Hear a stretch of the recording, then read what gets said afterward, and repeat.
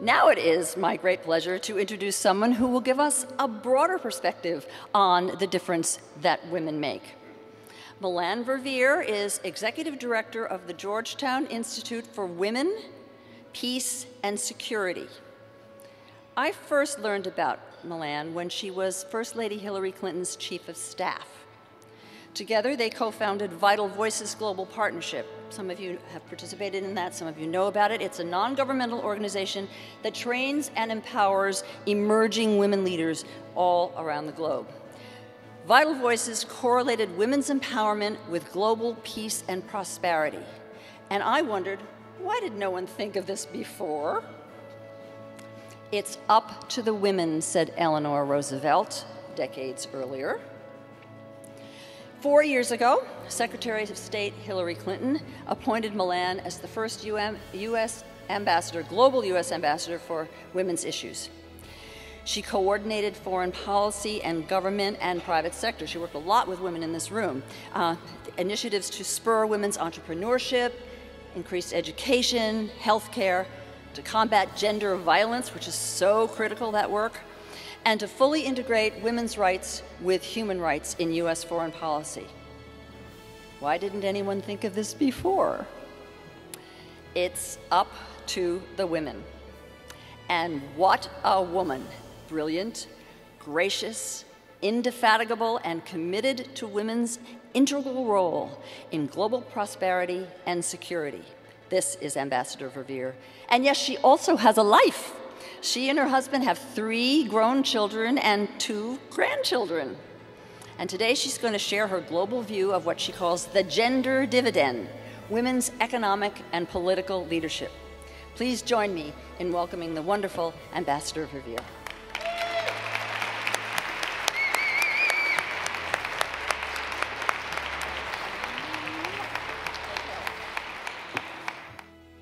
Now, as you've heard already, uh, I recently left the State Department where I was privileged uh, to serve as the first ever U.S. Ambassador for Global Women's Issues. The Obama administration has made empowering women a cornerstone of our foreign policy because we know that no country can get ahead if it leaves half of its people, its women and girls, behind.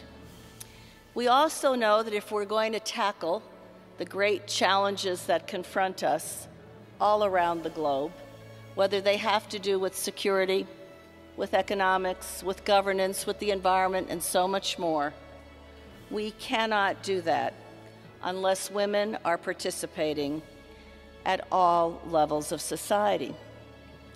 Otherwise, global progress and global prosperity will have its own glass ceiling. So, I want to talk to you today about political and economic power, the political and economic power of women. And I want to do this in a spirit of realistic optimism. You've already heard mention of the World Economic Forum, as, and I'm sure that many of you know that it annually publishes a gender gap report. And in that report, the WEF looks at the gap between men and women in a given country on four metrics health and survivability, education, economic participation, and political empowerment. Now, why do they do this?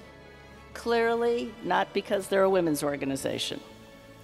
They do this because in countries where that gap is closer to being closed, and in no country is it closed, but where that gap is closer to being closed, those countries are far more economically competitive and far more prosperous.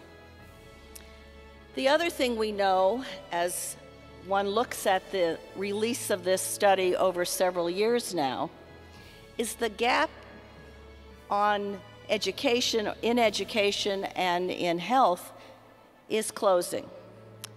Women are catching up, if you will. But in terms of economic participation, there is still significant progress to be made. And in terms of political empowerment, it is the toughest of all. But as tough as it is, women's political participation has improving, has been improving ever so slightly. But in the last 10 years, the rate of participation in national parliaments, for example, hovers around 20%, and more and more countries are reaching that critical mass of 30%. Currently, there are fewer than 20 heads of state or government uh, who are females, but among them is the President of Brazil, the Chancellor of West Germany, the Prime Minister of Australia, the President of Liberia, the first ever woman on the continent, now joined by another, the President of Malawi.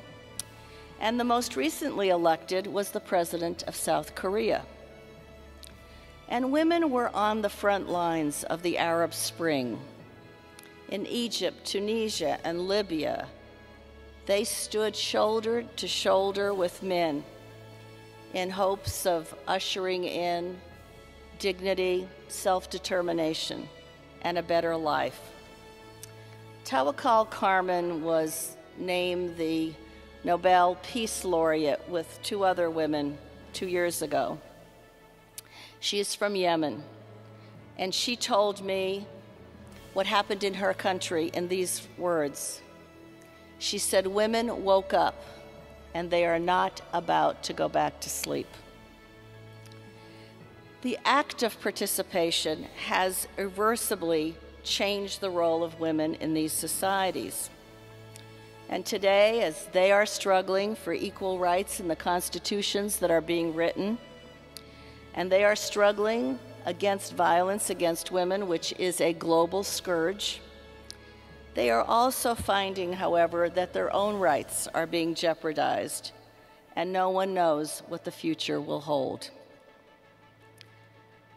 Despite all of this, the reality is that women are half the population, yet hold only one fifth of the positions in national governments. Women are still outnumbered in most bodies, including in negotiations where armed conflicts are being resolved. In other words, the decisions that affect women, their families, their societies, are being made, for the most part, without their voice, without their talents, experiences, the perspectives that women could bring to bear on public policy, where so many important decisions get made. And I've seen firsthand what happens when women are empowered politically. Thanks to a quota that was adopted many years ago in India, today there are over a million women in that very local level of politics, at the village level and the municipal level. And they are doing remarkable things when everyone snickered and said they won't make a difference and their husbands will basically function in these positions. Today, they are called the silent revolution in India's democracy. And they are running in large numbers of seats that are no longer reserved positions. They have begun to make that kind of difference. And what the studies show is that they are providing effective leadership. They are using public resources wisely. They are investing in sanitation, investing in education, investing in the things their communities need. And to be with any of them, even for a short period of time, as I have been, is to see that resoluteness that Betty talked about, that I can do it ness, if you will, uh, that enables them to keep going despite the challenges that they confront uh, and despite the risks they often encounter. Now, why should any of us care about all of this? Well, for one, a democracy without women's participation is a contradiction in terms. The World Bank studies also show that women, as they are able to get into positions of higher leadership, particularly in democracies, as that happens, as they go up, corruption goes down. I also remember several years ago when I was working with women from Kuwait who did not have the right to vote nor hold office. They were struggling, and only recently did they finally achieve their goal. But what woman, woman told me has always stayed with me. She said, You know, we're tired of a skim milk democracy. It's time for a full cream democracy. And that will only happen if women are part of it.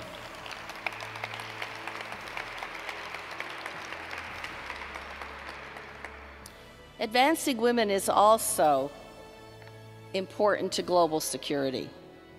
Yet women are largely shut out of peace negotiations and shaping post conflict decisions that are going to tell us a lot about whether a country is going to transition from conflict to stability. More than all, half of all peace agreements in the last five years, I'm sorry, more than, all, more than half of all peace agreements fail in the first five years. Over a decade ago, the United Nations Security Council adopted a resolution linking women to peace and security, recognizing that women have a key role to play at all levels of, of this resolution. Because they suffer unspeakable violence in times of conflict, and as many of you know, rape today is being used as a tactic. One need only look at what's happening in Syria or look at the DRC. In many ways, in some places, it's more dangerous to be a woman than it is to be a soldier. So in December of 2011, President Obama launched the first ever National Action Plan for Women, Peace, and Security for the United States. We are Johnny come latelys in some way. Many other countries have advanced this and, and adopted their own plans over the last many years, including NATO. But the United States now is committed in a way that we have both an executive order from the president and a roadmap, if you will, that we are called to accelerate efforts uh, to advance women's participation across government uh, in our diplomatic work, in our development work, and in our military efforts as well. And this affects all of our policies, whether they have to do with Afghanistan or Sudan or Colombia or the political transformations that are occurring in Northern Africa and the Middle East. This action plan focuses on a few areas. One is women and conflict prevention. Women are like canaries in the mines.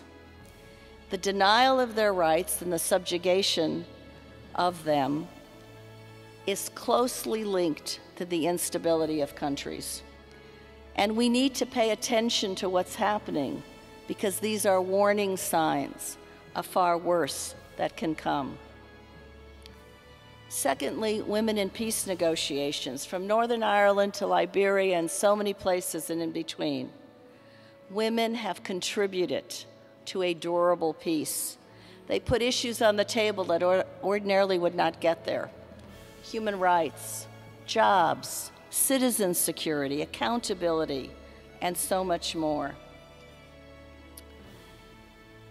And we can see as a result how this contributes to the peace lasting instead of peace treaties being abrogated over short periods of time.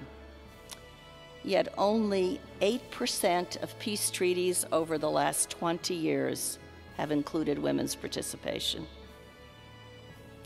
So, if life is to improve after a conflict has ended, these very issues are a critical part of the resolution. Surely it is that. It is also one of the best investments that can be made for peace, for prosperity, and for progress, something we all want to see. I hope that each of you will continue to champion women's political and economic leadership as you manifested in your own lives, both at home and around the world. This is what I intend to continue to do in my next chapter, and I look forward to working with all of you. I believe we are on this journey together. And remember always, it is the right thing to do. It is also the smart thing to do. And we cannot settle for anything less. Thank you.